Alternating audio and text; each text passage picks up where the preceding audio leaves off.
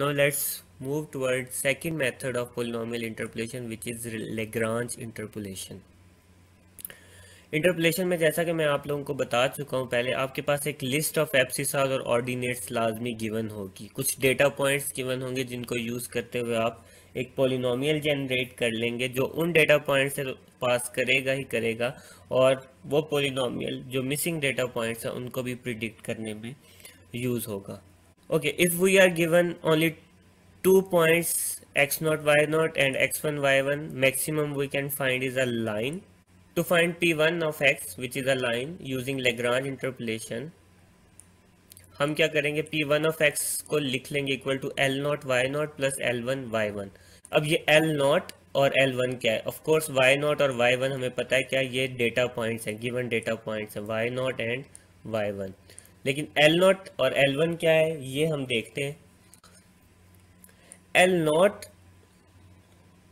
में जनाब आपने करस्पॉन्डिंग डेटा पॉइंट जो एक्स का डेटा पॉइंट है एप्सिसाज वाला, उसको छुपा लेना है। छुपा लेने से मेरी मुराद है, ऊपर आप लिख रहे हैं X minus x one.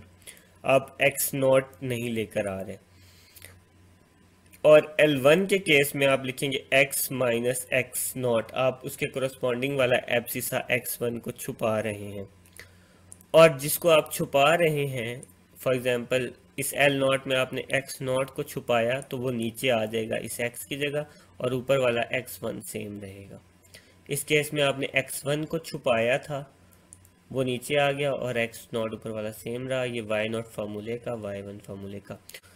Okay, if we are given three data points, three points x0, y0, x1, y1, x2, y2, maximum we can find is a parabolic equation, quadratic equation. So using Lagrange interpolation, P2 of x would be equal to L0, y0 plus L1, y1 plus L2, y2. अब ये L not क्या होगा? आपने corresponding point x naught को छुपाना है। और आपके पास अब ऑप्शंस कितने हैं? आपके पास तीन डेटा पॉइंट्स थे एप्सिसास थे एक्स नॉट एक्स वन और एक्स टू एल नॉट में ऑफकोर्स आपने एक्स नॉट को छुपाना है। इसका मतलब आपके पास ऊपर ऑप्शन बचे सिर्फ़ दो X minus X one into X minus X two दूसरे केस में एल वन अगर आपने लिखना है तो उसमें करस्पॉन्डिंग एक्स वन को छुपा लेंगे तो ऊपर आ जाएगा X minus X naught X minus X two तीसरे केस में एल टू है तो आप करस्पॉन्डिंग एक्स टू को छुपा लेंगे, जो कि हो जाएगा X minus X naught into X minus X one okay यहाँ आपने एक्स नॉट छुपाया था, नीचे एक्स नॉट आ गया एक्स नॉट आ गया। यहाँ एक्स वन छुपाया था, नीचे एक्स वन आ गया एक्स वन आ गया। यहाँ एक्स टू छुपाया था एक्स टू आ गया एक्स टू आ गया। और ये फॉर्मूले का वाई नॉट वाई वन और वाई टू इन जनरल अगर आपने एनथ डिग्री का पोलिनोमियल फाइंड करना है तो लेग्रांज के थ्रू वो इस तरह का होगा L naught Y naught plus L one Y one plus L two Y two up to L capital N Y capital N और इसी को अगर क्लोज फॉर्म में लिखूं तो समेशन में हो जाएगा J varies from zero to N where L J, Y, J. Okay, हमने इस लेग्रांज मेथड का कोड डेवलप करना है और उसके लिए हम एक जनरल क्वेश्चन उठा लेते हैं। Find interpolating polynomial that passes through these points these are our abscissa and ordinates and hence manipulate the value of Y at X equal to four since we have three data points we are going to have polynomial of degree 2 ये सब कुछ यहाँ से उठा के इस जगह पे पुट कर देना है और पुट करने के बाद हमारे पास ये चीज़ जनरेट हो जाएगी। इन सबको मल्टीप्लाई करके ये सब सॉल्व करके इस एरिया में ये एक पोलिनोमियल जनरेट हो गया। इसी तरह यहाँ पे भी एक पोलिनोमियल जनरेट हो गया और फिर थर्ड में भी ये एक पोलिनोमियल जनरेट हो गया।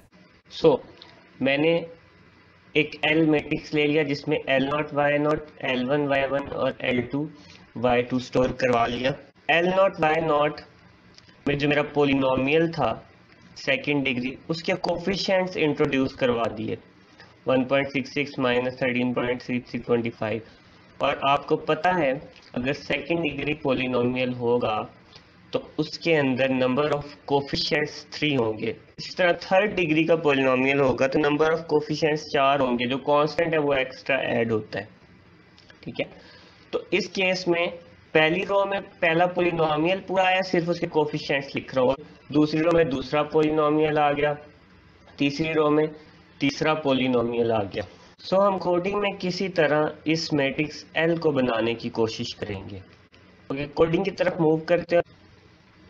तो एक न्यू स्क्रिप्ट फ़ाइल बना ली मैंने जनाब।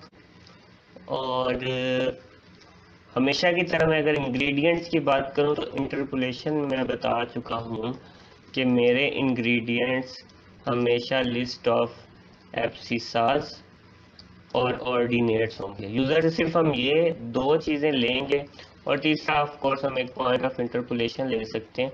और हमने इन रिटर्न उसको पूरा उसका पोलिनोमियल जनरेट करके देना है। तो n is equal to length of x पे लगा दें या y पे लगा दें तो n के अंदर इस टाइम ये स्टोर हो जाएगा कि x की लेंथ कितनी है? जो उसने एप्सिस और ऑर्डिनेट्स लिए टोटल कितने हैं? उनकी क्वांटिटी कितनी है? और एल मैट्रिक्स जो मैंने फाइंड करने जाना है, जिसको इनिशियलाइज मैं ज़ीरो से करूँगा, इनके इनिशियल एंट्री उसकी ज़ीरो होंगी और डायमेंशंस क्या होंगी इस एल मैट्रिक्स की? जनरली अगर मुझे एल चाहिए तो एन के अंदर मैं लेंथ स्टोर करवा रहा हूँ कि कितने नंबर ऑफ़ पॉइंट्स हैं तो उतने क्रॉस उतने का ही मेरा एल मैट्रिक्स बनेगा।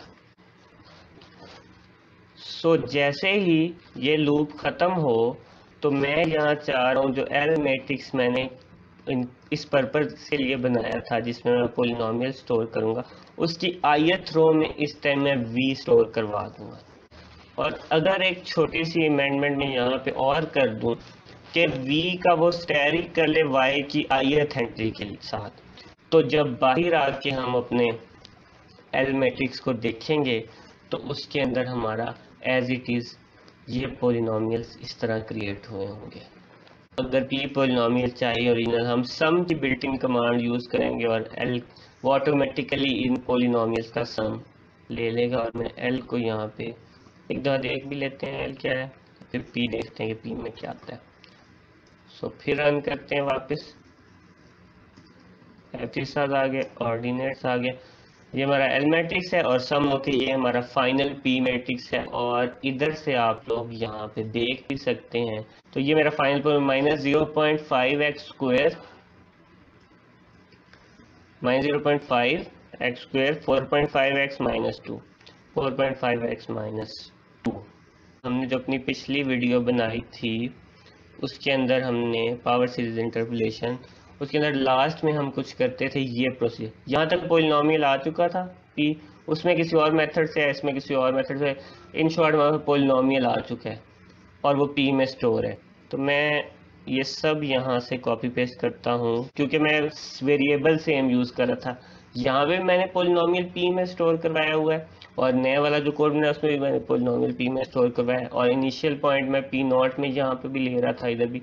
मैं यहाँ से सारा कुछ कॉपी पेस्ट करूँगा। एफ़ सी सारे मैंने बड़े एक्स में लिए थे ऑर्डिनेट्स मैंने छोटे एक्स में लिए थे। और मैं यहाँ पे